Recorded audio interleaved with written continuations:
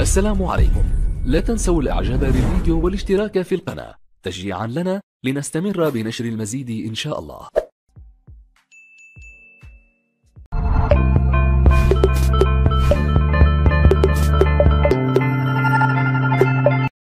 إذا كنت أخي المتابع هاته أول زيارة لك لقناتنا محترف البادج فضل وليس أمرا. قم بالاشتراك.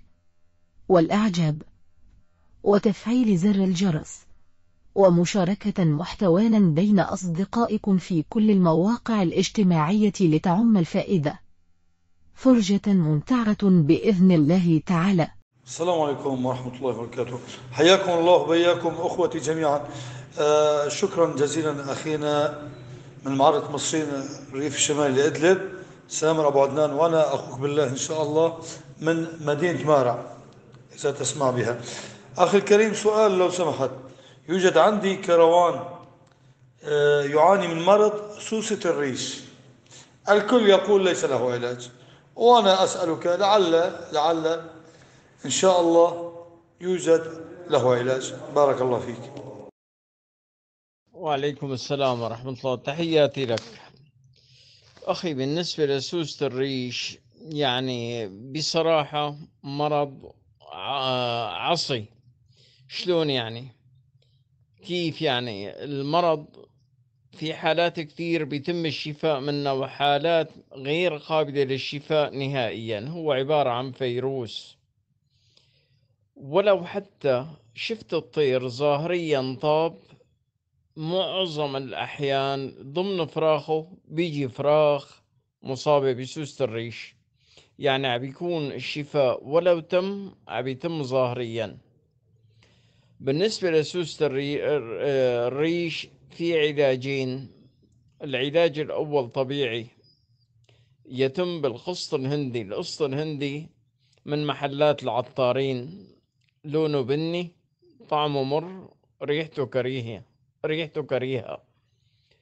بتجيب شوي منه بشكل عواد لأن معظم العطارين يعني أحيانا عم بيكون عندهم غير نخي أو جايبينه هن أو أو فأنت حتى تكفلوا إنه يكون مو مغشوش بصراحة. يعني هيك بدنا نحكيها.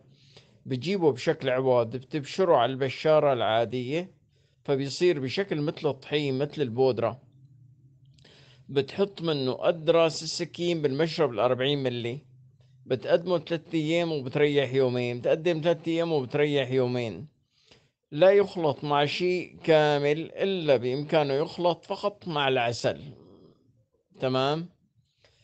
مدة العلاج طويلة قد تصل للشهر لكن قبل ما تباشر العلاج بدك تقلع الريش اللي بتشوف فيه سوس ريش.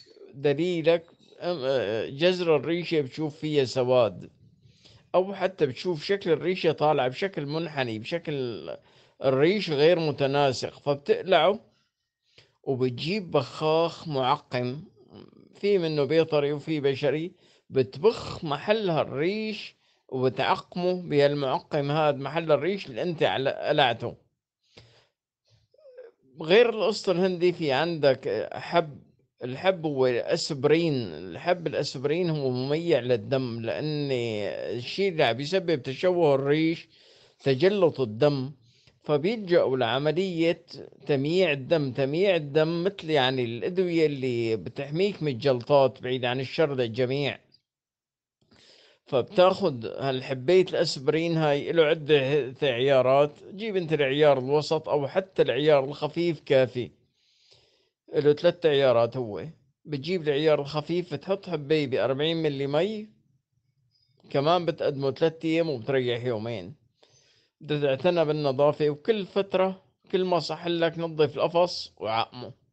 هذا اللي بيطلع بإيدك بالنسبة لسوسة الريش. إذا أعجبك الفيديو لا تنسى الضغط على زر اللايك ومشاركة هذا الفيديو. ولكي يصلك كل جديد اشترك الآن.